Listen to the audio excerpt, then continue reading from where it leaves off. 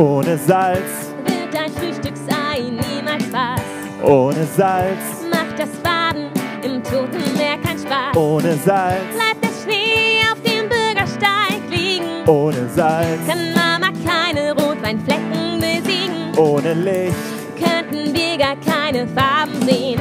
ohne Licht, Wären Ferien nur halb so schön. ohne Licht, Gäbe es gar keine Lebewesen. ohne Licht. Tolle Bücher lesen. Und Und jetzt stell dir vor, jemand sagt über dich, du bist das Salz dieser Erde und du bist ihr Licht. Ohne dich geht es nicht, wir brauchen dich. Du bist wichtig, wie Salz und Licht.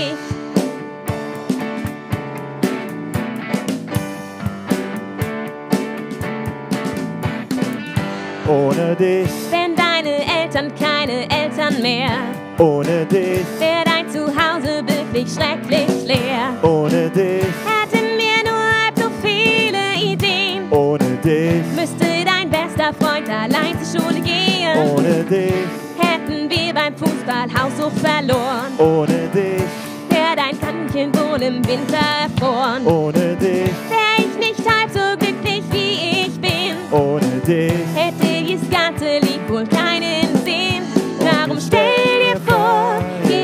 Sagt über dich, du bist das Salz dieser Erde und du bist ihr Licht. Ohne dich geht es nicht, wir brauchen dich, du bist wichtig. Ohne dich hätte dieses ganze Leben wenig Geschmack. Du bist wie das Salz in der Suppe. Du scheinst hell in diese Welt, so wie eine Stadt auf dem Berg oder wie eine Sternschnuppe. Stell dir vor, jemand sagt über dich, du bist das Salz dieser Erde und du bist ihr Licht. Ohne dich geht es nicht,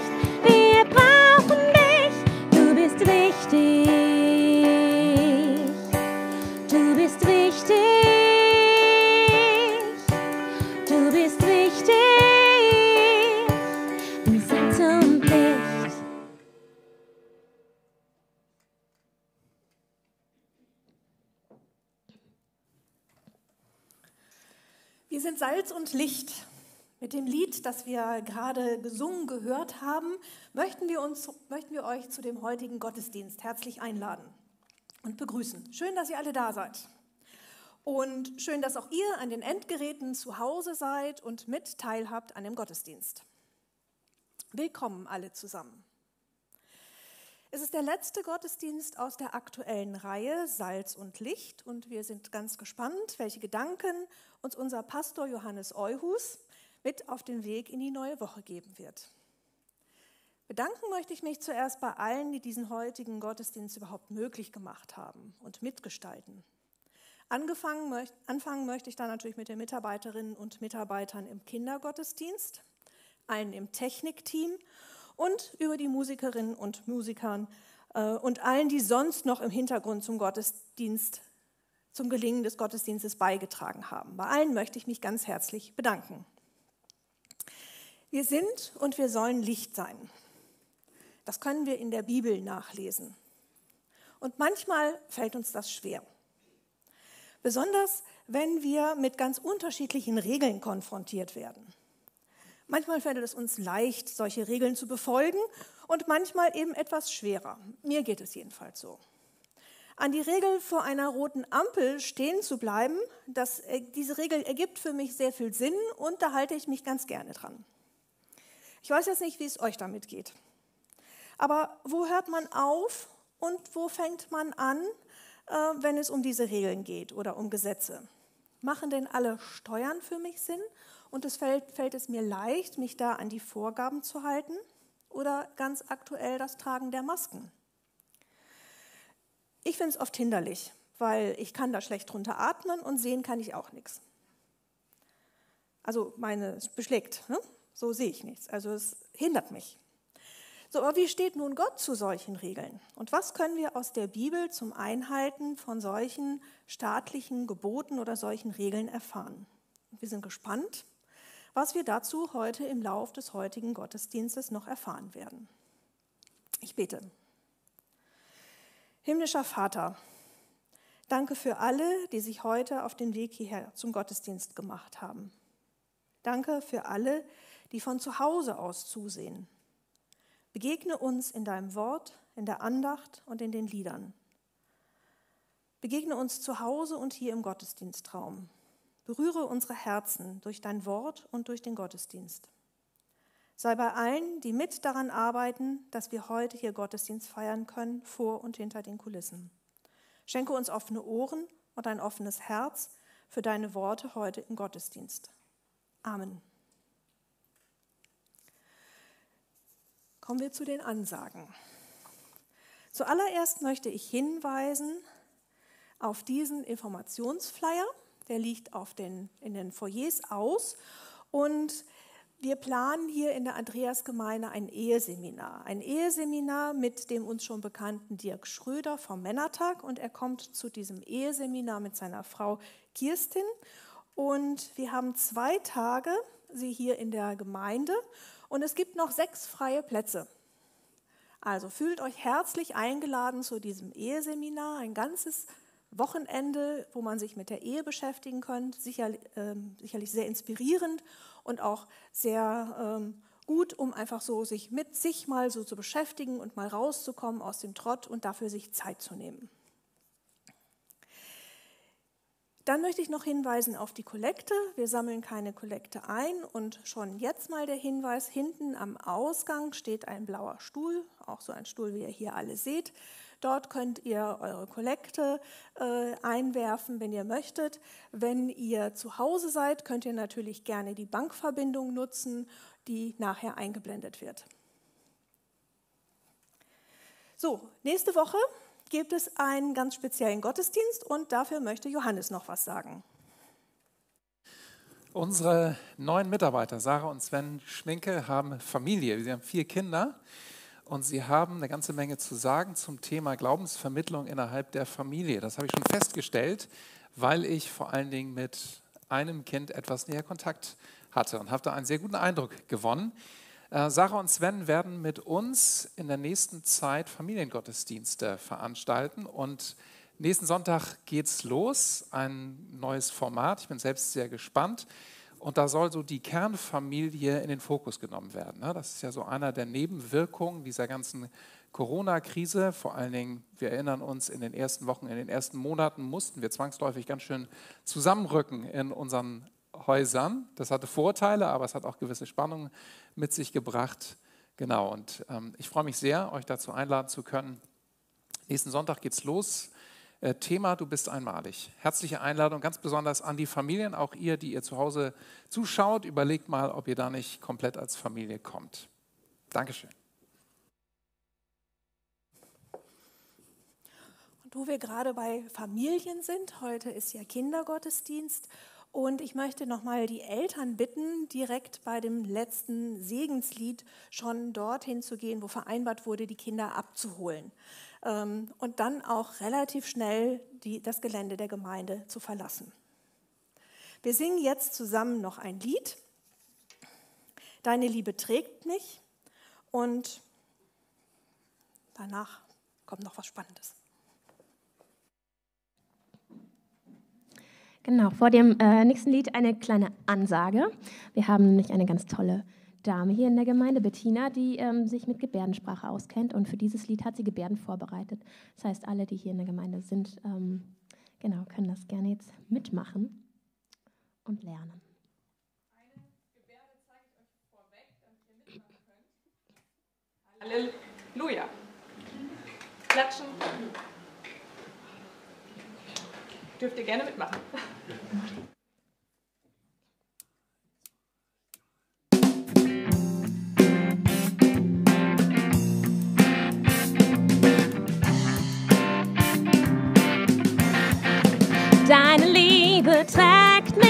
Festigt und erhebt mich. Sie ist wie ein Felsen, auf dem ich sicher stehe. Deine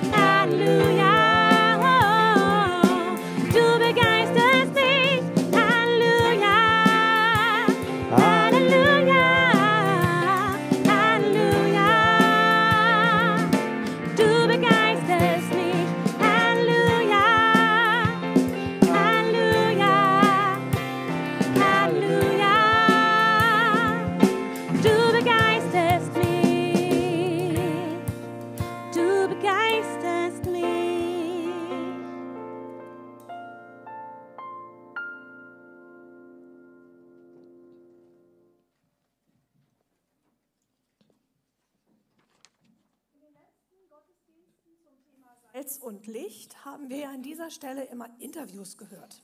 Wir sehen hier noch das Sofa und unser Gast heute, Johannes Kreiser, konnte leider nicht dabei sein. Deshalb hat Johannes vorher ein Interview mit ihm aufgezeichnet, auch auf diesem Sofa. Und äh, wir sehen das Video der Aufzeichnung. Johannes Kreiser ist Richter hier in Osnabrück und hat natürlich auch eine ganze Menge zu sagen für, über das Thema Corona und äh, über die rechtliche Seite. Und wir sind gespannt auf das Interview.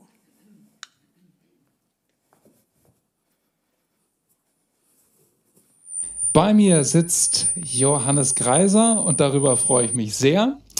Danke.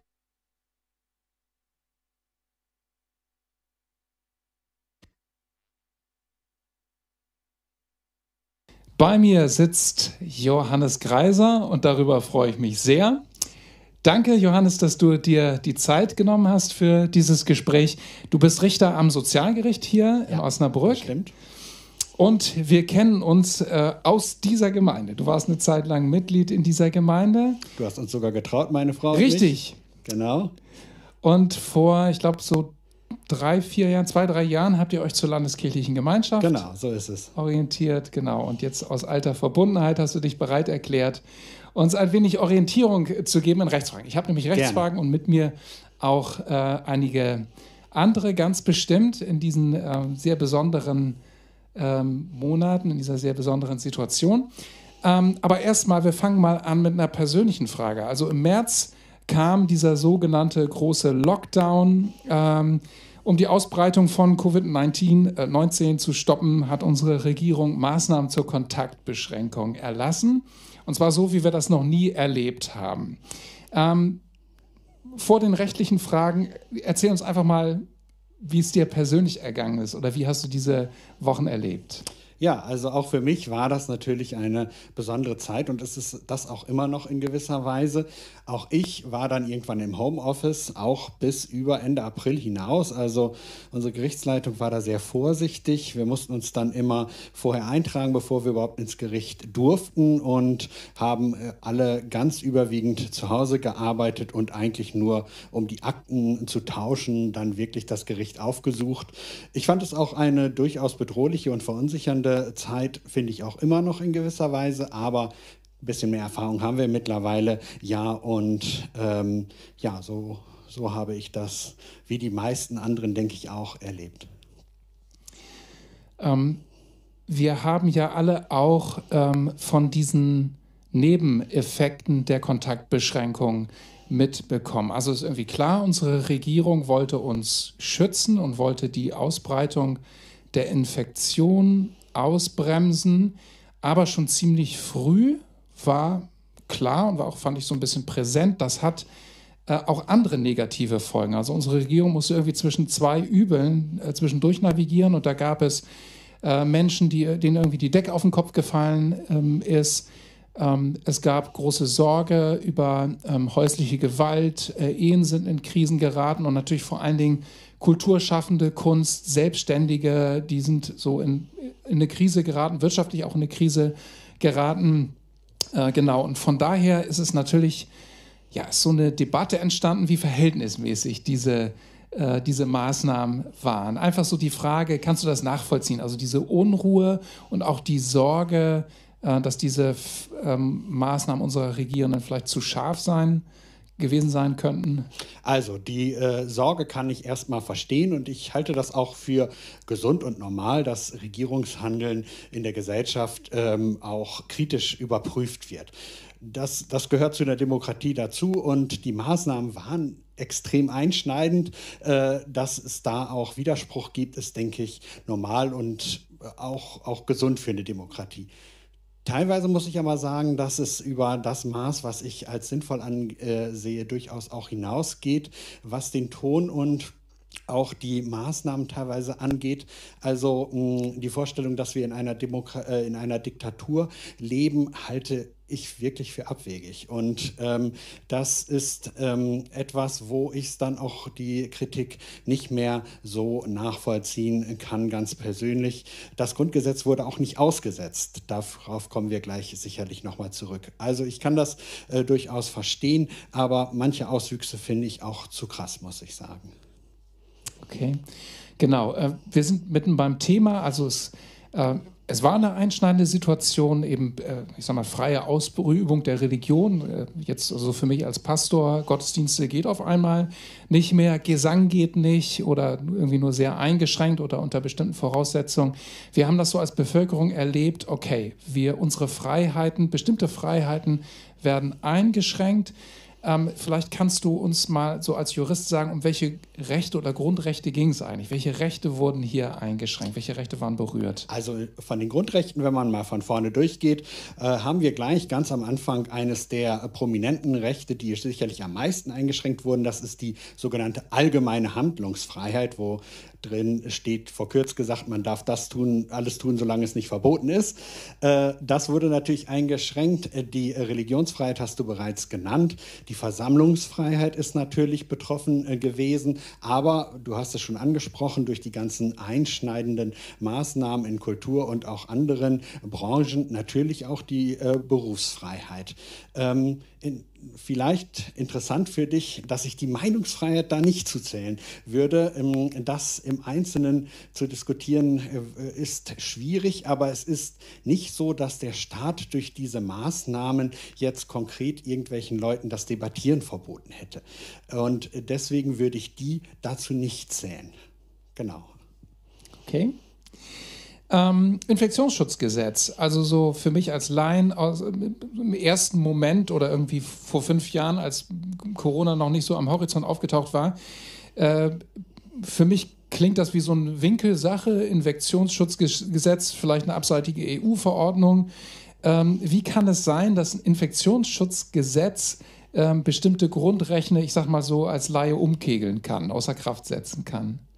Ja, also dazu muss man sagen, der, Grund, äh, der Staat darf durchaus Grundrechte einschränken. Das ist völlig klar. Also das tut er auch dauernd. Also ähm, wenn man es mal ganz platt formuliert, jede Geschwindigkeitsbeschränkung ist eine Einschränkung in der eben genannte allgemeine Handlungsfreiheit. Du darfst eben nicht mit 200 durch die Ortschaft fahren. Das ist eine Grundrechtsbeschränkung, auch wenn uns das in dem Moment nicht so vorkommt. Das darf der Staat und zwar ist er dadurch durch das Grundgesetz selbst ermächtigt. Also in diesen Grundrechten steht häufig das durch und aufgrund eines Gesetzes in diese Grundrechte eingegriffen werden darf. Das steht nicht bei allen Grundrechten, aber auch bei denen, wo es nicht steht, äh, geht man davon aus, dass die Rechte anderer, also die Freiheit geht immer nur so weit, wie die, nicht jemand anderes betroffen ist, ähm, nicht dadurch beeinträchtigt ist. Und dieses Infektionsschutzgesetz, was du nennst, was vorher wirklich nicht viele kannten, äh, ist eben genauso ein Gesetz. Und auf dieser Grundlage durfte man äh, die Grundrechte durchaus grundsätzlich einschränken. Aber diese Schranken haben dann wiederum auch eine Grenze und diese Grenze hast du selbst eben schon äh, selbst genannt. Ähm, die ist der Verhältnismäßigkeitsgrundsatz. Also die Dinge müssen verhältnismäßig sein. Diese Einschränkungen, äh, die Maßnahmen müssen geeignet, erforderlich und angemessen sein. Und da kommen wir dann wirklich in, in den Bereich, wo es dann bei den einzelnen Maßnahmen natürlich schwierig werden kann. Da kann ich im Einzelnen gar nicht, auch gar nicht also da müsste man dann sehr in die Einzelheiten gehen. Aber grundsätzlich beschränken darf der äh, Staat Grundrechte. Es ist die Frage, wie weit er das darf. Es muss alles verhältnismäßig sein. Genau, und von daher ist natürlich ein großes Feld zu debattieren. Was ist verhältnismäßig? Äh, wie gefährlich ist die Infektion? Wie ist es mit der Ansteckungsgefahr? Klar, und äh, von daher ist es gut und gesund, dass es eine Debatte an dieser Stelle gibt das immer wieder natürlich auch überprüft werden muss, wie weit darf die Einschränkung gehen, wann sollte sie zurückgenommen werden. Nun gibt es eben ziemlich scharfe Proteste. Jetzt Ende August gab es ähm, eine große Demonstration in Berlin. Genau, und ähm, da habe ich noch in Erinnerung, die ist erst irgendwie polizeilich abgesagt worden. und dann ist das durch Gerichte wieder gekippt worden dann fand die Demonstration doch statt. Vielleicht kannst du uns da mal aufklären, was ist da so von den Instanzen unseres Staats her, was ist da eigentlich gelaufen oder wie siehst du das? Also es war so, dass die ähm, Polizei letztlich wegen des Anlasses der Demo, sich gegen diese Beschränkungen zu, äh, zur Wehr zu setzen, davon ausgegangen ist, dass die Maßnahmen zum Hygieneschutz, zum Infektionsschutz nicht eingehalten werden. Also die Polizei hat gesagt, die Erfahrung der bisherigen Demos und auch die Meinung der Leute lässt uns mit hinreichender Sicherheit sagen, dass die gegen die Maßnahmen verstoßen werden. Das, diese Prognose hat das Gericht als nicht ausreichend angesehen. Sie haben gesagt, die haben organisatorisch durchaus Vorkehrungen getroffen, dass das äh, dass das hinhauen könnte. Und ihre Meinung zu den Maßnahmen allein kann die äh, Demonstration das Verbot nicht, ähm, nicht rechtfertigen. Letztlich muss man wahrscheinlich sagen, hat äh, die Prognose der Polizei dann doch sich bewahrheitet, denn es wurde dann massiv gegen die Auflagen verstoßen und die Demo wurde ja aufgelöst. Aber es ist letztlich eine unterschiedliche Einschränkung dieser Prognose. Und da sind wir halt dann in den rechtlichen Fragen. Ist das, ist das verhältnismäßig? Müssen wir ähm, müssen wir das wirklich verbieten oder gibt es ein milderes Mittel? Das ist ähm, die Erforderlichkeit, von der ich gerade sprach. Und es ist dann so, dass man immer das Mittel wählen muss, was am wenigsten einschränkt. Und es ist natürlich weniger einschränkend für die Versammlungsfreiheit, wenn man Anordnung macht, ihr müsst anderthalb Meter Abstand haben und Masken äh, aufsetzen, als man sagt, wir verbieten die Demo ganz. Und äh, dementsprechend hat das Gericht sich für die äh, weniger einschneidende Maßnahme entschieden.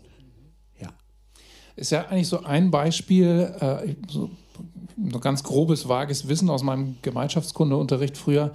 Genau, die Polizei ist Exekutive, Ja. äh, ist aufgetreten und ähm, die Judikative, Ja. danke, die Genau. Judikative hat das hat sozusagen als Gegengewalt äh, gewirkt. Genau, also genau, und eigentlich auch ein Zeichen dafür, dass so die Institutionen in unserem Staat funktionieren. Das würde ich auch sagen. Also äh, gerade daran, also da auch wieder das äh, Anknüpfungsbeispiel mit der Diktatur. In einer Diktatur ist es gerade so, dass die Justiz nicht frei ist und ähm, eben sowas, dass dann Maßnahmen der Regierung aufgehoben werden. Also Regierung ist die Exekutive, die dann wiederum vertreten wird irgendwie und also die Verwaltung ist eben auch Exekutive, genau wie du es gesagt hast.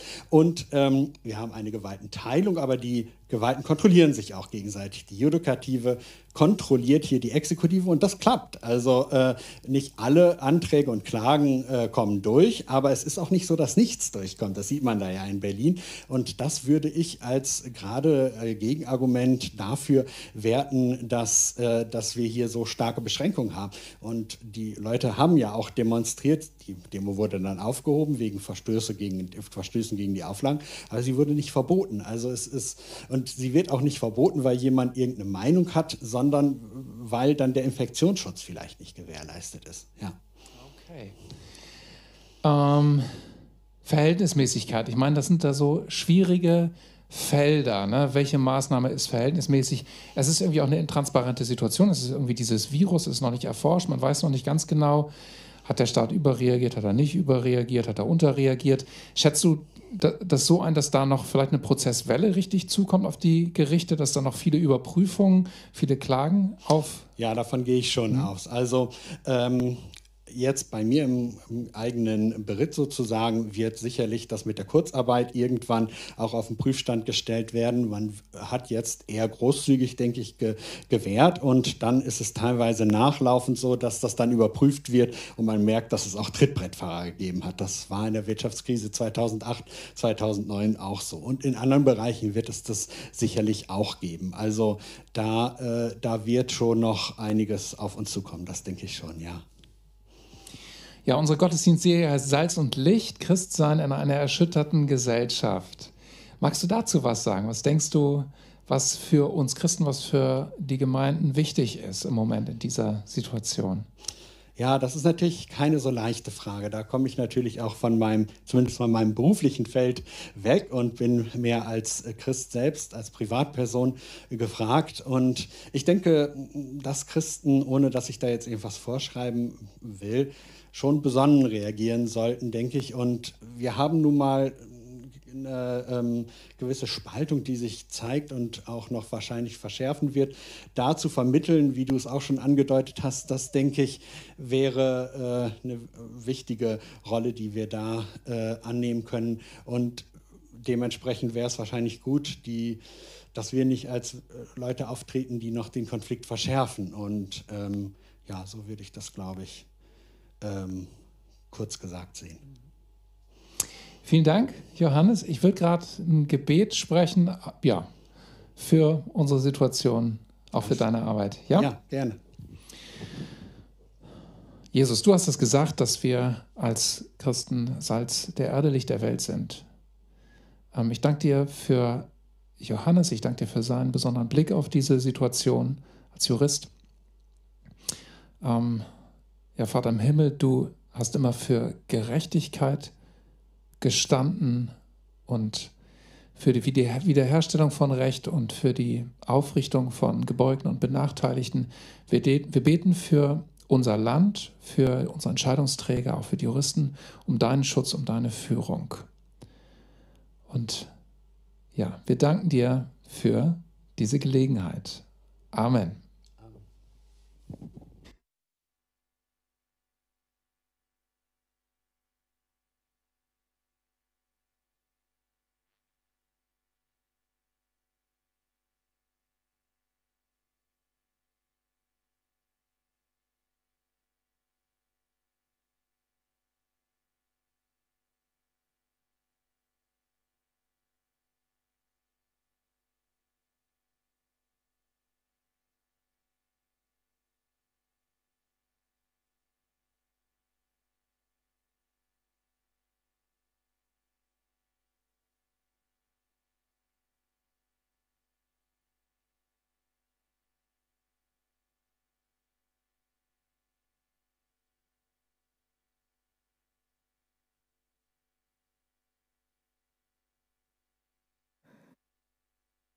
Eins.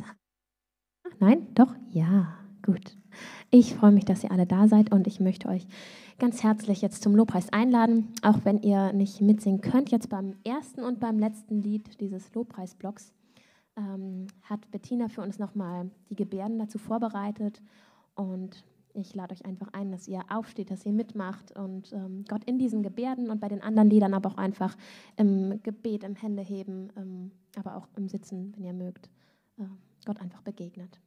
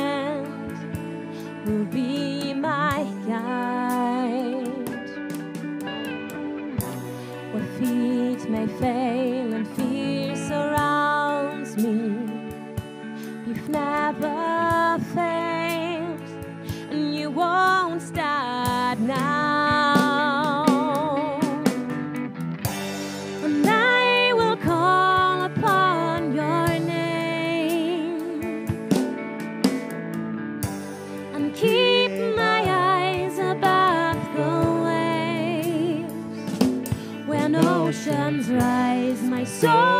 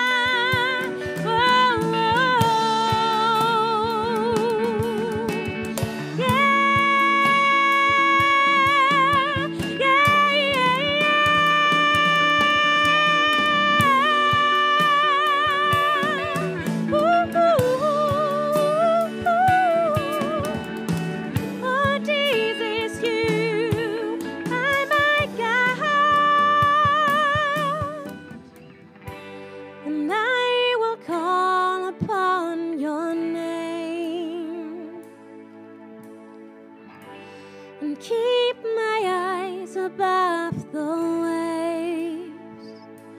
When oceans rise, my soul will rest in your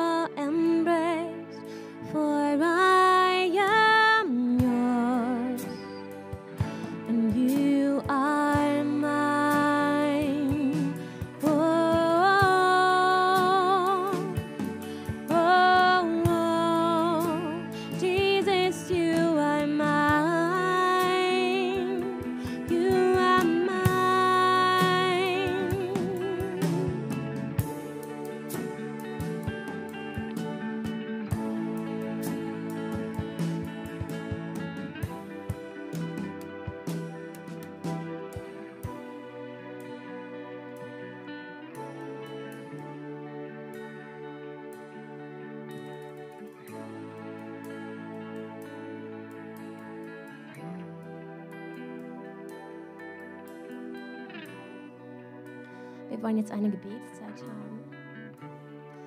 Und jeder darf von seinem Platz aus gerne beten. Beten ist uns ja noch erlaubt. Das, was euch auf dem Herzen liegt, das, was mit uns als Gemeinde teilen wollt. Vater, ich danke dir, dass wir hier als Gemeinschaft sein dürfen. Dass wir zusammen dich anbeten dürfen, wenn auch laut und leise gleichzeitig. Und dass du uns weiterhin die Möglichkeit lässt, dass wir hier wirklich zusammen sein dürfen und dass wir deine Gegenwart erleben dürfen, Vater. Ich bitte dich, dass du in unsere Herzen sprichst und dass du uns heute und hier und jetzt begegnest, Vater. Sei es bei den Kindern draußen und bei den großen Kindern, deinen Kindern hier im Saal und hinter den Bildschirmen, Vater.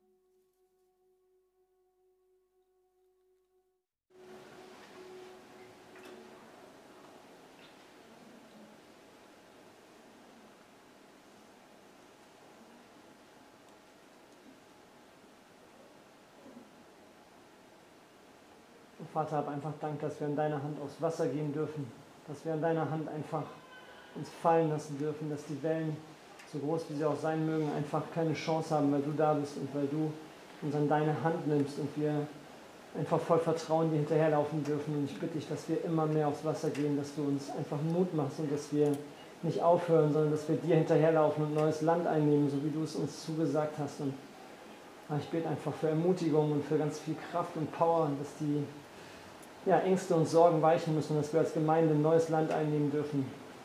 Danke, dass du uns gesetzt hast hier in diese Gemeinde und dass wir dir dienen dürfen.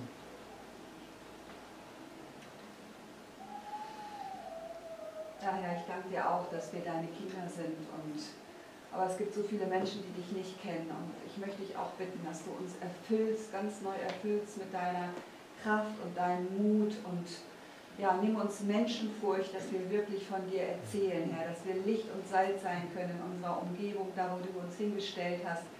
Ja, Herr, dass Menschen nicht verloren gehen, Herr. Lass uns das immer wieder klar werden, ja, dass wir nicht zurückhalten, von dir zu erzählen, sondern dass wir deine gute Botschaft, dich verkünden, Herr, dass du der einzige wahre Gott bist, der Lebendige, der gekommen ist, um uns zu erlösen.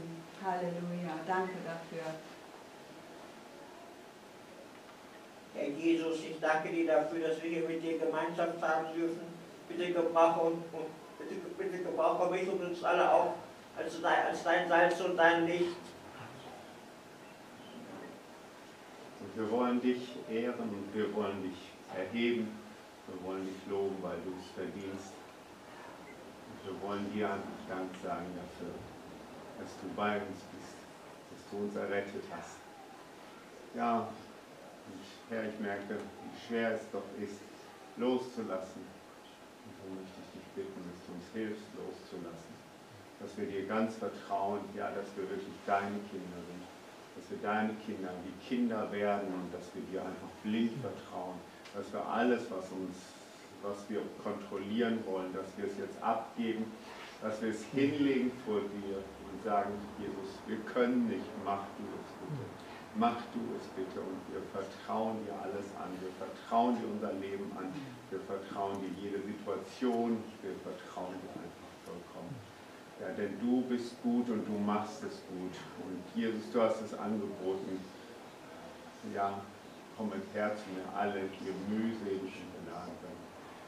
Ich will euch erquicken und das wollen wir tun. Wir wollen es dir geben, Herr. Wir wollen dir all unsere Sorgen und Probleme geben. Danke, dass du es learning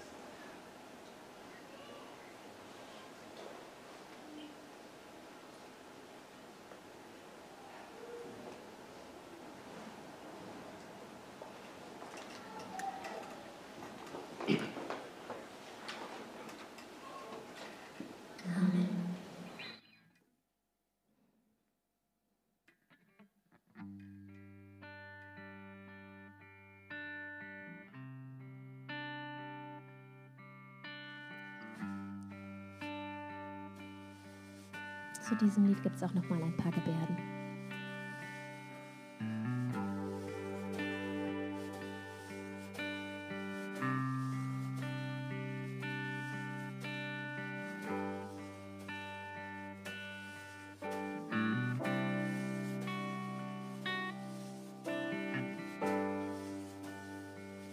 Das, was mich atmen lässt.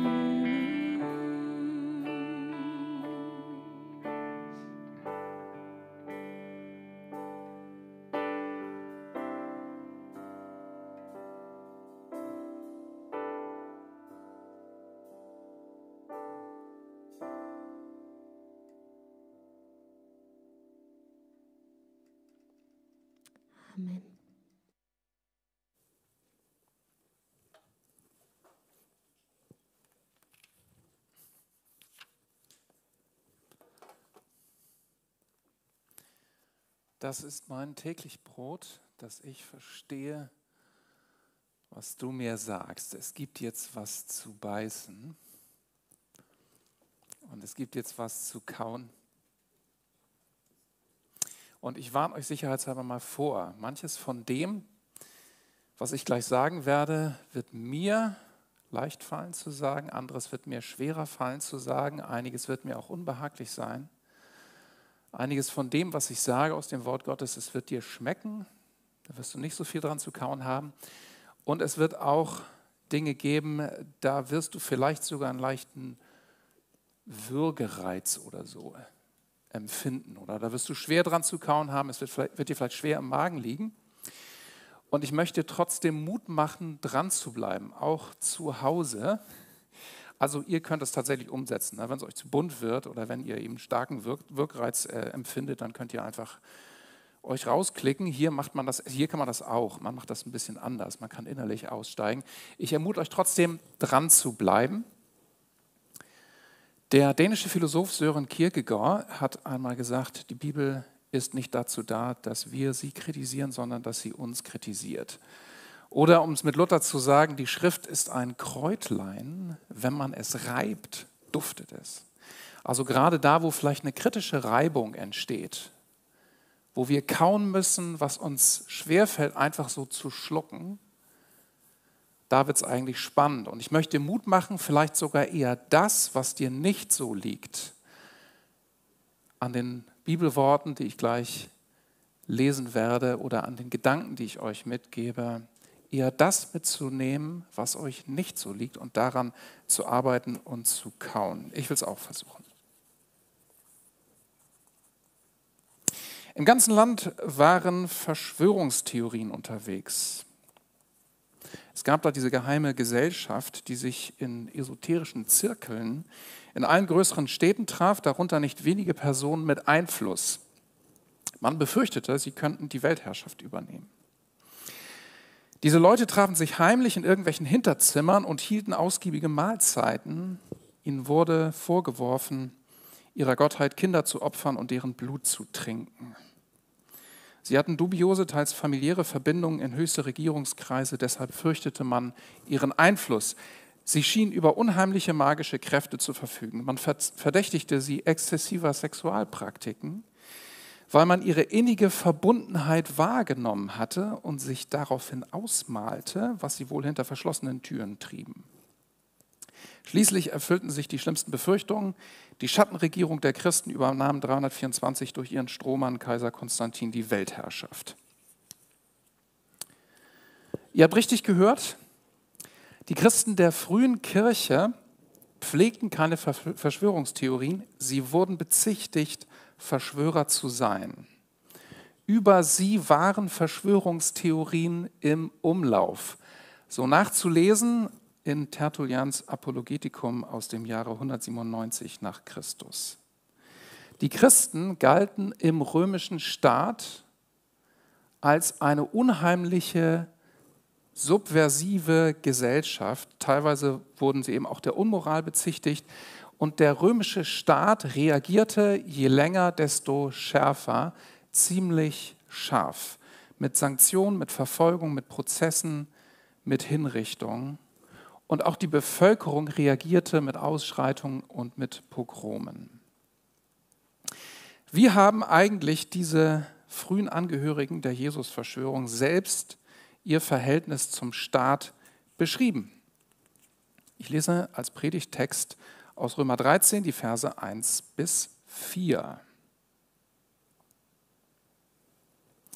Jeder soll der Regierung des Staates, in dem er lebt, Moment, jeder soll sich der Regierung des Staates, in dem er lebt, unterordnen. Denn alle staatliche Autorität kommt von Gott und jede Regierung ist von Gott eingesetzt. Dem Staat den Gehorsam zu verweigern, heißt also, sich der von Gott eingesetzten Ordnung zu widersetzen. Wer darum dem Staat den Gehorsam verweigert, wird zu Recht bestraft werden. Wer hingegen tut, was gut ist, braucht von denen, die regieren, nichts zu befürchten. Fürchten muss sich nur der, der Böses tut. Du möchtest doch leben, ohne dich vor der Regierung fürchten zu müssen? Dann tu, was gut ist, und du wirst sogar noch Anerkennung von ihr bekommen. Denn die Regierung ist Gottes Dienerin und du sollst durch sie Gutes empfangen. Wenn du jedoch Böses tust, hast du allen Grund, sie zu fürchten. Wir beten. Das ist mein täglich Brot, dass ich verstehe, was du mir sagst. Wir danken dir, dass dein Brot zur Verfügung steht. Wir danken dir, dass wir dein Brot haben, dein Wort, das, was uns nährt und was uns aufbaut und stärkt. Wir danken dir so sehr dafür.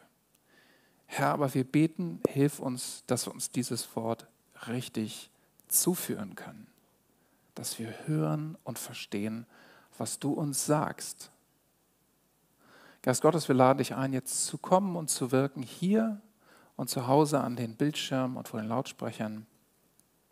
Und wir laden dich ein, auch die Bibelworte richtig zu verteilen. Du weißt, wer von uns welches Wort genauer hören muss. Wir bitten dich um dein Wirken. Rede du, lieber Herr. Amen. Ja, Corona und die staatlichen Gegenmaßnahmen. Wir haben diese Polarisierung in der Gesellschaft und wir haben sie auch in den Gemeinden.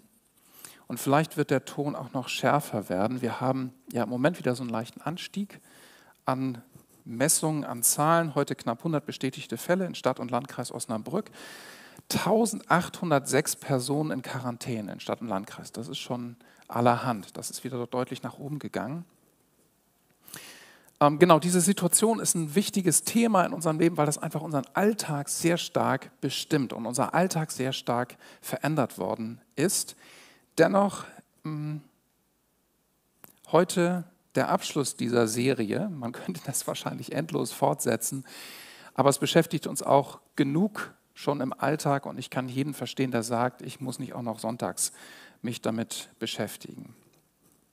Ja, nach dem Interview mit einer genesenen Corona-Patientin, einem weiteren Interview mit einem Mikrobiologen vor 14 Tagen kam heute ein Richter zu Wort.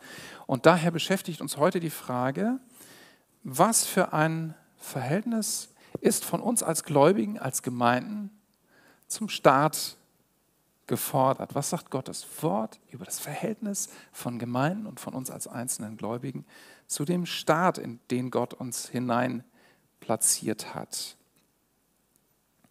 Sollen wir unseren Staat gerade in dieser Situation, sollen wir ihn stützen, unterstützen? Ist Loyalität von uns gefordert oder Opposition oder vielleicht sogar Widerstand?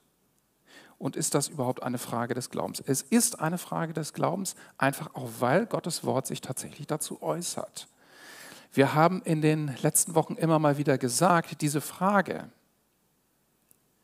wie du diese Lage einschätzt, die Gefährdungslage durch diese Pandemie oder auch die Regierungsmaßnahmen, haben gesagt, es sei keine Frage des Glaubens und man kann in unserer Gemeinde unterschiedlicher Meinung darüber sein. Das Letzte möchte ich unbedingt bekräftigen. Es ist völlig gesund und normal, dass es in dieser Phase, dass es hier unterschiedliche Meinungen zu diesem Thema gibt. Ähm, dass es keine Frage des Glaubens ist, möchte ich in gewissen Grenzen zurücknehmen. Ähm, einfach weil wir natürlich als Gläubige alles, was wir erleben, über der aufgeschlagenen Bibel und auch im Gebet bedenken. Von daher sind eben auch diese alltäglichen Dinge und vor allen Dingen eben so starke Veränderungen unseres Alltags, sind sie natürlich auch Fragen unseres Glaubens. Aber mir ist nochmal wichtig als Grundton, dass wir diese Fragen und diese Meinungsverschiedenheiten nicht so stark in das Zentrum unseres Glaubens rücken. Dann wird, würde der Ton schärfer werden. Und darüber möchte ich heute eigentlich nochmal auf, über der aufgeschlagenen Bibel mit euch sprechen, warum das gerade nicht so ist aus unserer Sicht. Warum wir in dieser Sache einander alleine lassen können. Wir haben eine Positionsbestimmung als Gemeinde vorgenommen. Wir haben äh, uns, wir versuchen, so gut es geht, uns loyal zu unserer äh, Regierung zu äh, verhalten. Insofern ist für uns tatsächlich Römer 13, die ersten Verse, für uns das Wort der Stunde, was auch hierher gehört, dass es wichtig ist, unseren Staat zu stützen. Äh, das merkt ihr, wir haben Hygienekonzepte uns ausgedacht und äh, arbeiten daran. Keiner von uns hat daran besonderes Vergnügen. Ich kann manchmal Pickel kriegen dabei. Also das macht keinem von uns Spaß. Also auch wenn wir ähm, sagen, wir versuchen hier diese Verordnung umzusetzen, wir leiden mit allen anderen auch daran. Es hat unser Leben wirklich umständlich gemacht. Ich habe es vorhin jemandem zwischen Tür und Angel gesagt, es ist auch für mich als Pastor, der ich so Ver Verantwortung trage, auch für diesen Gottesdienst, es sind so viele Dinge mehr, die ich im Kopf haben muss und irgendwann mal ist auch der kleine Automat da oben einfach zu mit Informationen und es ist einfach mehr geworden durch diese äh, ganzen Verordnungen. Wir sehnen definitiv alle das Ende herbei. Unser Anliegen, das ähm, entspricht ganz dem Ende dieses Interviews mit Johannes Greiser. Es ist uns wichtig, dass wir einen Beitrag leisten als Christen in dieser Situation mit einer polarisierten Gesellschaft, mit einer erschütterten Gesellschaft und dass wir Salz und Licht sein können. Und ich denke, dass das auch ein Auftrag ist für uns als Gemeinde, an dieser Stelle Spannung zu lösen, zu deeskalieren, mit zu unterstützen, gerade auch in dieser Polarisierung. Schauen wir nochmal hin. Wie ordnet Paulus die christliche Gemeinde und den Staat zu? Sehr deutliche Worte, wie ich finde. Es gibt ja so Bibelstellen, da muss man sehr weit ausholen, um irgendwie das zu erklären, was da steht. An dieser Stelle muss man als Ausleger eigentlich nicht sehr viel sagen. Es ist relativ deutlich, relativ klar. Jeder soll sich der Regierung des Staates, in dem er lebt, unterordnen. Also, das ist einmal ein Grundton. Dem einen wird es schwerer fallen, das zu hören, dem anderen wird es leichter fallen, der andere wird vielleicht sagen, ja, endlich sagt es mal jemand in dieser Situation hinein. Wie auch immer du das hörst, aber das ist ein Grundton, der uns aus dem Wort Gottes entgegenkommt. Loyalität gegenüber dem Staat, Einordnung, Unterordnung. Paulus hatte kein Königreich mit irgendwie einem frommen König vor Augen, sondern er hatte den römischen Staat vor Augen, einen heidnischen Staat mit einem Kaiserkult. Wir würden sagen, mit gewissen okkulten Praktiken sogar irgendwie eingebaut. An anderen Stellen in diesen Briefen, da geht es um Götzenopferfleisch und komische Kulte und wo sich die Christen raushalten sollen. Und trotzdem sagt Paulus hier sehr deutlich, ordne dich ein, ordne dich unter. Er geht sogar noch einen Schritt weiter. Alle staatliche Autorität kommt von Gott und jede Regierung ist von Gott eingesetzt. An der Stelle atme ich auch ein bisschen schwer, wenn ich mir so manchen Staat aktuell oder aus der Geschichte ansehe. Dem Staat den Gehorsam zu verweigern, heißt also, sich der von Gott eingesetzten Ordnung zu widersetzen. Das ist echt scharf. Ne?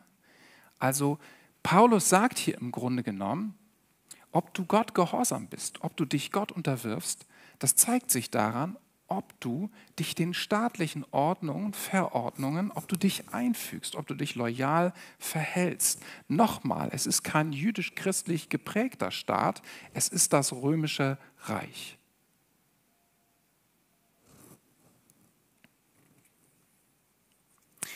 Vielleicht erinnert sich der eine oder andere noch an das Interview mit unserem Mikrobiologen Dr. Jörg Greie. Und er hat das wirklich auch in dieser Zuspitzung gesagt. Ich finde, er hat es vorsichtig gesagt, aber ich kann jeden verstehen, der anderer Meinung ist und an, wo sich etwas in ihm aufbäumt an der Stelle. Aber er hat genau diese zugespitzte Frage gestellt. Könnte es sein, dass in deinem Widerstand gegen diese ganzen Verordnungen, und wie gesagt, ich kann das, emotional kann ich das total verstehen, es macht unser Leben so unverständlich. Aber er hat diese Frage gestellt, könnte es sein, dass in deinem Widerstand gegen diese Ordnung auch generell sich dein Widerstand gegen Fremdherrschaft, gegen eine Herrschaft Gottes zeigt? Und könnte es sein, dass die Stimme, die, die dir sagt, du weißt doch selbst, was gut für dich ist, du kannst es doch selbst bestimmen für dein Leben, ob es vielleicht die Stimme der alten Schlange ist? Die Eva und Adam zugeflüstert hat und äh, ja, zu, diesem, äh, zu dieser ersten Übertretung des Gebotes Gottes führte. Ich bitte das einfach als Frage und nicht als Urteil zu hören. Also ich möchte das niemandem unterstellen, der sich im Moment eher im Widerstand innerlich oder vielleicht auch aktiv bewegt gegen diese Verordnung. Ich möchte das niemandem unterstellen, dass er das aus einer Rebellion gegen Gott heraus tut. Aber ich lade dich ein, diese Frage mal auszuhalten, die uns hier sehr deutlich aus dem Wort Gottes entgegenkommt. Wie kommt man nun trotz Römer 13 und der völlig eindeutigen Weisung zur Loyalität gegenüber dem Staat darauf, dass es im Moment geboten sein könnte, als Christ in die Opposition gegen die Regierungsmaßnahmen zu gehen? Vielen Dank für die Frage. Römer 13 ist nicht die einzige neutestamentliche Äußerung über das Verhältnis der Jünger Jesu zum Staat. Also, wenn wir irgendeine bestimmte Frage haben, die uns beschäftigt aus unserem Alltag, wie sollen wir uns zu unserem Staat verhalten, wie sollen wir uns zu diesen Verordnungen verhalten, ist es immer gut, eine Bibelstelle anzusehen, aber dann auch ein paar Schritte zurückzugehen und gucken, sagt das Wort Gottes noch an anderen Stellen etwas über das Verhältnis zum Staat. In Psalm 119 heißt es, die Summe des Wortes Gottes ist Wahrheit. Die Summe des Wortes Gottes ist Wahrheit. Wenn wir eine Frage an Gott stellen, an die Bibel stellen, wenn wir nachlesen, dann ist es immer gut, breit zu gucken, wo überall sagt das Wort Gottes etwas zu unserer Frage. Ich zeige euch ein paar andere Stellen, wo es auch um das Verhältnis zum Staat geht. Bitte jetzt nicht äh, erschüttert werden. In Offenbarung 17 wird genau derselbe römische Staat, den Paulus in Römer 13 als Dienerin Gottes bezeichnet, als Hure Babylon beschrieben, als wiedergöttliches Monster. Na, da schnappt man schon nach Luft. Auf der einen Seite Römer 13, Gottes Dienerin, und auf der anderen Seite Offenbarung 17, 18, Hure Babylon, ein wiedergöttliches Monster. Beides finden wir in demselben Neuen Testament und beides bezogen auf den römischen Staat. Es ist sicher auch daraus zu erklären, dass ein paar Jahrzehnte zwischen Paulus und seinem Römerbrief und der Offenbarung ins Land gegangen sind und dass sich die Situation vielleicht auch lokal insgesamt geändert hat.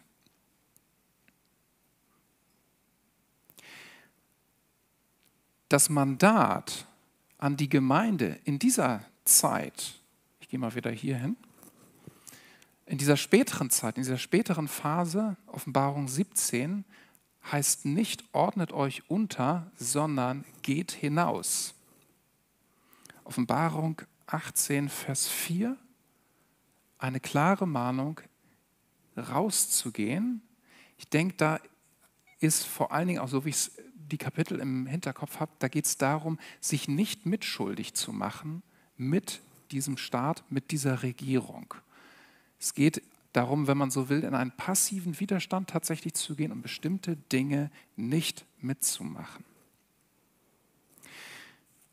Ja, also an der Stelle denke ich, haben wir sehr schnell vor Augen, aktuell unterschiedliche Staaten, unterschiedliche Regierungen und auch aus der Geschichte. Selbstverständlich, wir haben ja in unserem Land auch ein sehr, sehr dunkles Kapitel. Und es gab Gläubige, die, die hatten diesen Instinkt und die waren wachsam vor 80 Jahren. Und sie hatten das Gespür, hier ist jetzt eher Offenbarung 17 angesagt und hier geht es darum, bestimmte Dinge nicht mitzumachen. Es gab damals auch Gläubige, die argumentiert haben, man muss sich diesem Staat unterordnen. Aber im Nachhinein ist deutlich geworden, das war die richtige Entscheidung, in den Exodus zu gehen und in den Widerstand zu gehen.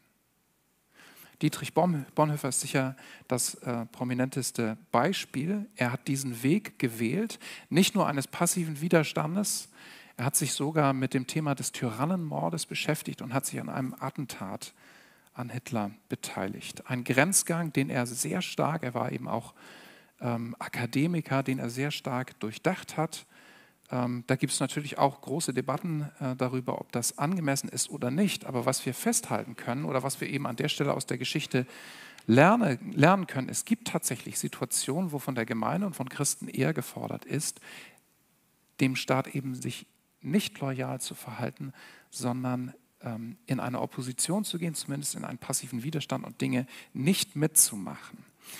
Äh, der Ausruf, nein, erstmal. Apostelgeschichte 5,29, prominentes Beispiel. Die Apostel vor dem Hohen Rat, sie bekommen ein, eine Weisung, könnte man sagen, von der lokalen Regierung, nämlich nicht über Jesus zu reden. Und sie antworten, man muss Gott mehr gehorchen als den Menschen. Das ist kein loyales Verhalten gegenüber dem Staat. Der Ausruf der ersten Christen, das erste Bekenntnis lautete Kyrios Jesus, Herr ist Jesus und man kann es auch hören, Kaiser ist Jesus. Und das in einem Staat, wo der Kaiser als Gottheit angebetet wurde. Ihr könnt euch denken, dass das auch ein bisschen subversiv rüberkam, wenn Leute als ihr Bekenntnis gesagt haben, Kaiser ist Jesus, Kanzler ist Jesus, Jesus for President, irgendwie so, würde das in unseren Ohren klingen. Hatte eine subversive politische Komponente. Dann ist mir noch über den Weg gelaufen 2. Mose 23, 2. Du sollst der Menge nicht auf dem Weg zum Bösen folgen. Also dieses einfache, klare Gebot hält fest, diese Beobachtung, es kann sein, dass sich die Masse, dass sich die Mehrheit in eine falsche, in eine gefährliche Richtung entwickelt. Und dass es dann für Menschen, die vor Gott und mit Gott unterwegs ist, angebracht sein kann, bestimmte Wege nicht mitzugehen, auch da wenn man so will, in eine Opposition zu gehen. Lass uns das nochmal durchdeklinieren. Wenn die Mehrheit in eine bestimmte Richtung geht, dann heißt das, dass auch die Gelehrten, dass auch die Eliten in eine bestimmte Richtung gehen. Und es kann sein, dass es die falsche Richtung ist. Auch dafür gibt es in der Geschichte, daraus kann man lernen, gibt es eindrückliche, erschütternde Beispiele. Und deshalb ist es für uns als Christen immer gut, wachsam zu sein, und zu gucken, wo sind wir? Sind wir, müssen uns eher nach Römer 13 verhalten oder sind vielleicht irgendwelche Entwicklungen da, die in Richtung Offenbarung 17 gehen? Einfach, wir müssen diese beiden Positionsbestimmungen müssen wir wie zwei Leitplanken im Blick behalten. Immer.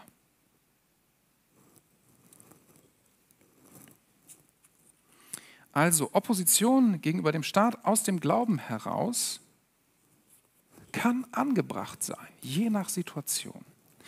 Und ähm, ich habe schon gesagt, ich persönlich oder auch wir als Gemeinde, wir haben uns in dieser, in dieser Situation eher für Römer 13 entschieden. Und für mich ist es angebracht, deshalb mich ein wenig an Offenbarung, vielleicht auch sogar mehr an Offenbarung 17 zu reiben und mich damit auseinanderzusetzen. Und wenn du in deinem Glauben sehr stark bei ähm, Offenbarung 17 unterwegs bist und die ganze Entwicklung eher unter diesem, in diesem Horizont siehst, dann empfehle ich dir für deine persönliche Lektüre Römer 13. Das ist gut. Es ist gut, ne? wenn man, die Schrift ist ein Kräutlein, wenn man es reibt, duftet es. Die unbequeme Frage, die ich mir so ein bisschen aus der Ecke stellen lassen muss, ist, der ich hier stehe bei Römer 13, kann es sein, dass ich nicht wirklich wachsam bin? Kann es sein, dass ich irgendwo mitlaufe und mitmarschiere mit der Mehrheit in eine bedenkliche, in eine gefährliche Richtung? Das höre ich mir nicht gern an, also das ist mir auch unangenehm. Aber ich möchte das aushalten, möchte das lernen, möchte das auch üben, mir diese Infragestellung anhören zu lassen. Verhältnis zum Staat, Loyalität oder Opposition. Welches Bild von Staat, Justitia, Gottesdienerin, Gerechtigkeit oder Hure Babylon, was darf es jetzt eigentlich sein? Wo stehen wir in der Entwicklung? Was macht unser Staat eigentlich und wo steht er? Ist in dieser Situation der Corona-Pandemie und der staatlichen Gegenmaßnahmen eher Loyalität oder Opposition gefordert? Meine Antwort ja. Ähm, also ich schlage heute einen Haken um eine finale Antwort, ähm, einfach weil ich heute ein anderes Anliegen habe. Es hat sich so ein bisschen durch die anderen Gottesdienste äh, durchgezogen. Auch wenn ich sehr deutlich gemacht habe, dass wir hier eher so stehen, ich persönlich und wir als Gemeinde auf der Römer 13 Seite, ähm, habe ich heute ein starkes Anliegen, dass wir Verständnis haben für Menschen, die eher hier unterwegs sind. Mir ist es wichtig, um Verständnis zu werben. Und andersherum auch, wenn du eher da stehst, dass du Verständnis hast für Menschen, die sich eher hier einsortieren, für Gläubige, die sich eher hier einsortieren. Ähm, ich, wir, wir, wollen immer gerne Spannungen auflösen. Spannungen sind unangenehm. Ne? Das ist doof, wenn man auf eine Entweder-Frage, Entweder-Oder-Frage die Antwort Ja bekommt. Das ist einfach ent, frustrierend, enttäuschend. Ne? Es ist Spannung auszuhalten, ist, ist blöd. Unklare Situationen auszuhalten, ist blöd. Aber ich möchte euch einladen, dass wir versuchen, so sage ich es mal, diese Spannung gut zu gestalten. Es gibt Probleme, die kann man lösen und es gibt Spannungen, die muss man aushalten und da muss man gucken, wie man die miteinander gestaltet. Und ich glaube, ich meine zu ahnen, dass Gott uns genau darin, in dieser Unsicherheit und in dieser Spannung als Gemeinden gebrauchen will und dass da unser Auftrag liegt. Wir sehen eine Polarisierung in der Gesellschaft. Wir sehen, dass der Ton schärfer wird. Diese Polarisierung, die ragt in unsere schöne Gemeinde hinein und in alle Gemeinden, auch was ich mich so umhöre, wenn ich, wenn ich mir anhöre was, äh, oder ansehe, was in anderen Gottesdiensten läuft, was andere geistliche Leiter sagen, ich nehme das überall wahr, dass diese Polarisierung aus der Gesellschaft in Gemeinden hineinragt. Was wir tun können, wir können was Besseres tun, als uns gegenseitig über den Tisch zu ziehen oder uns gegenseitig unter Druck zu setzen. Was wir tun können, ist eben, wir können lernen, wir können bewusst das zu unserer Aufgabe machen, das zu kultivieren und einen guten Umgang damit zu pflegen. Ich denke, das ist die Art und Weise, wie wir Salz und Licht in der Gesellschaft sein können, dass wir hier mit dieser Spannung, die schwer auszuhalten ist, dass wir hier einen anderen Umgang damit üben als in unserer Gesellschaft. Warum ich meine, dass wir das aushalten können? Es gibt gute Gründe dafür, dass wir die Spannung, diese Meinungsverschiedenheit aushalten können, wie ich meine. Zum einen ist das Verhältnis des Gläubigen zum Staat oder das Verhältnis der Kirche zum Staat ist eigentlich kein zentrales Thema des Glaubens. Wir sind nicht mehr vorrangig Bürger der Bundesrepublik Deutschland, sondern nach dem Wort Gottes sind wir Bürger des Himmelreichs. Und das sollte für uns mehr Gewicht haben. Und das kann uns im Moment helfen, wenn wir uns stärker darin gründen, dass wir Bürger des Himmelreichs sind. Ja, es kann eine Hilfe sein. Ich, ich hatte mal eine französische Staatsbürgerschaft, die habe ich irgendwann mal aufgegeben von, äh, von meiner Mutter her eine doppelte Staatsbürgerschaft. Irgendwann habe ich die aufgegeben. Also wenn man eine doppelte Staatsbürgerschaft ist, dann kann das eine Hilfe sein, wenn ein Staat irgendwie gerade in Schwierigkeiten gerät. Es ist nicht schlecht, wenn man noch eine andere in der Hinterhand hat. Ja? Wir sind nicht nur Bürger der Bundesrepublik Deutschland, wir sind Bürger des Himmelreichs. Und in einer Situation, wo unser Staat in Schwierigkeiten gerät, ist das eine Hilfe. Es kann uns entlasten. Es kann uns ein Stück Frieden geben in dieser Situation. Zweitens, durch Christus sind wir eigentlich aus unserer Fixierung auf Gebote gelöst. Ähm, das, die neutestamentlichen Briefe sind voll davon, dass wir eigentlich, dass diese, dieses starke Verbundensein mit Gesetzen, Vorschriften und Geboten, dass das nicht der Takt ist, nach dem wir als Christen noch tanzen. Wir tanzen mit Jesus. Und da geht es nicht mehr zwanghaft darum, dass irgendwie jeder, jeder kleine Tanzschritt stimmt, Gebote, Vorschriften sollen für Gläubige nicht mehr so dieses große Gewicht haben. Natürlich sind sie da, wir bewegen uns irgendwie darin, aber sie haben nicht mehr so, sollten nicht mehr so das Gewicht haben. Ja? Ich führe an der Stelle immer, das mache ich jetzt auch, mein, gerne meinen kleinen Bruder an. Mein kleiner Bruder ist Steuerberater. Ich kenne mich mit Zahlen nicht gut aus, Steuerrecht ist furchtbar kompliziert und in Deutschland am kompliziertesten. Ich könnte mir die Mühe machen, den direkten Kontakt zum Steuerrecht zu suchen und alles zu klären. Ich würde wahnsinnig werden. aber ich habe einen Bruder. Und ich pflege die Beziehung zu meinem Bruder. Und ich lade ihn mal ein ins Kino oder zum Essen. Und dann hält er mir diese ganzen Vorschriften von, vom Leib und er sorgt dafür, dass ich entsprechend dieser Vorschriften irgendwie alles regel. Und genauso ist das mit Jesus. Wir können uns verlieren in einem Vorschriften- und Verordnungssalat. Auch jetzt. Natürlich müssen wir uns damit beschäftigen, aber wir müssen uns nicht mehr so daran verlieren. Wir können uns mit Jesus beschäftigen und er wird uns in dem allen auch helfen und Klarheit schenken und uns einen guten Weg daran schenken. Also Gebote sind einfach nicht mehr so unser Thema. Dritter Grund, das größte, das größere Unrecht in unserer Gesellschaft, die, die schwerwiegenderen Dinge und Themen, die liegen, meine ich, anderswo als im Bereich von Infektionsschutz oder Meinungsfreiheit oder wo auch immer dir etwas wehtut an Verordnungen. Lebensschutz ist das größere Thema, was am Ende des Lebens passiert und zugelassen wird mit Alten, Schwachen und Kranken und auch am Beginn des Lebens. Abtreibung. Ich bin bis ins Mark überzeugt, das ist das schwerere Unrecht und die größere Schuld, die wir als Nation auf uns laden und eventuell der Teufel ist immer unterwegs gewesen und hat Kinder getötet. Er hat die, die äh, Generation des Mose versucht zu töten in Ägypten, ne? die Jungs, die in den Nil geworfen wurden.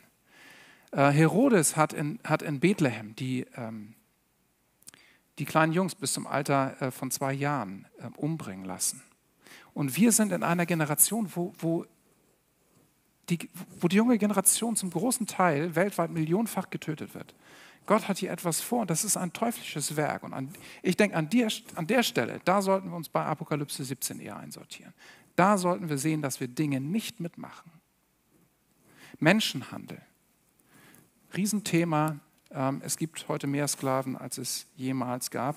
Und Deutschland ist geradezu ein Umschlage, Umschlagsplatz für Menschenhandel. Ich bin nicht nur Anhänger einer Verschwörungstheorie, ich bin bekennender Verschwörer. Ich gehöre zur Jesus-Verschwörung. Ich bin nur mit Einschränkungen dem Staat der Bundesrepublik Deutschland loyal. Das sage ich vor laufenden Kameras. Meine uneingeschränkte Loyalität gehört dem Deep State des Reiches Gottes. Der hat eine Schattenregierung, mit der ich fieberhaft versuche, in Kontakt zu treten und in Kontakt zu bleiben. Jesus und der Heilige Geist. Ich lade euch ein, aufzustehen und das wollen wir jetzt miteinander tun, in Kontakt treten mit unserer Schattenregierung. Also sie ist halt noch nicht ans Licht getreten, aber wir glauben, dass diese Herrschaft kommt und dass sie sich durchsetzen wird. Ich lade euch ein, eure Hände vor euch auszustrecken, einen stillen Moment zu haben und wir wollen diese Stille beschließen mit, mit diesem Gebet, Vater unser, das Jesus seine Jünger gelehrt hat. Und darin heißt es, sein Reich soll kommen, sein Reich soll kommen. Ich lade euch ein, das im Stillen schon mal durch zu buchstabieren, dass sein Reich kommen soll.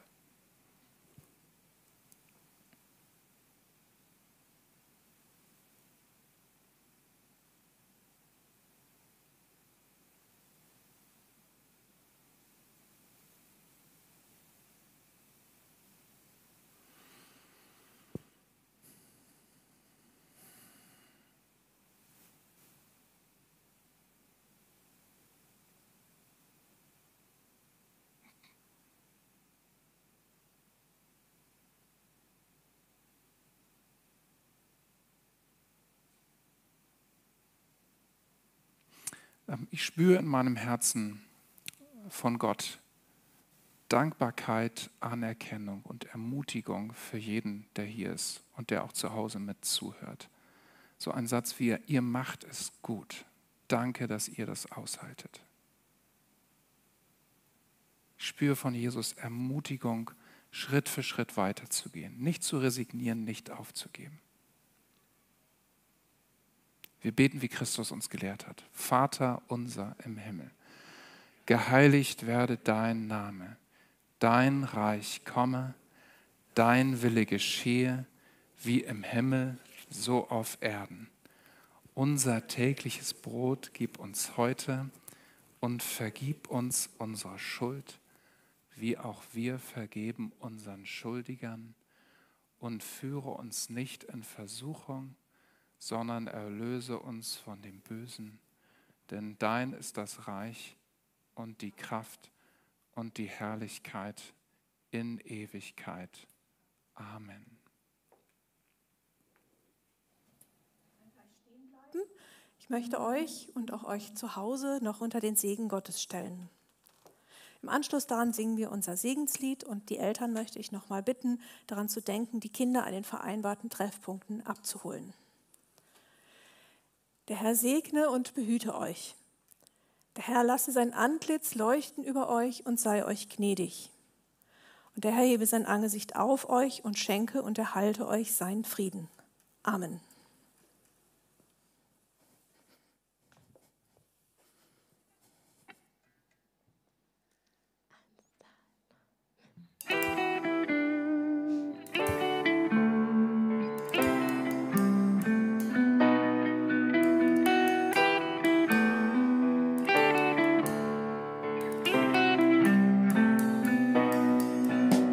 Nicht immer scheint mein Glaube in Stein gemeißelt, mal dreht er wie ein Fähnlein im Wind. Hin und her geworfen auf den Bogen des Zweifels, für Gottes Nähe irgendwie blind.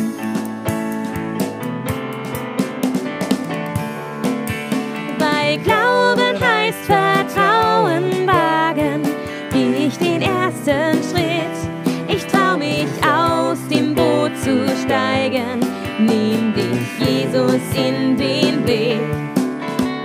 Wenn Glauben wie ein Senfkorn klein schon Berge versetzen kann, dann leg ich dir hin, was ich habe. Fang mit diesem bisschen an. Die Bibel zeigt, du hast immer Wort gehalten. Was du verhießt, das ist auch geschehen. Wer losging im Vertrauen trotz Widrigkeiten, der durfte stets dein Eingreifen sehen.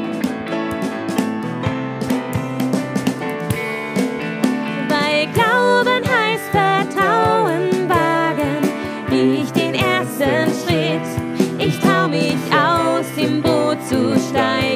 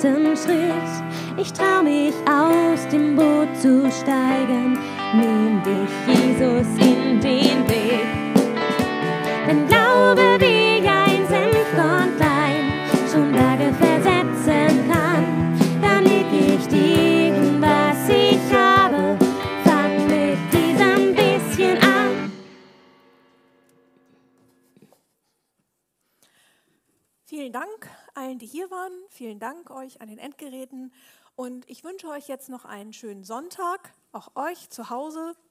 Und ich möchte euch nochmal daran erinnern, gleich den eingezeichneten Pfeilen zu folgen, wenn ihr das Gebäude verlasst und wenn ihr den Platz verlasst, auch an eure Masken zu denken. Schöner Sonntag.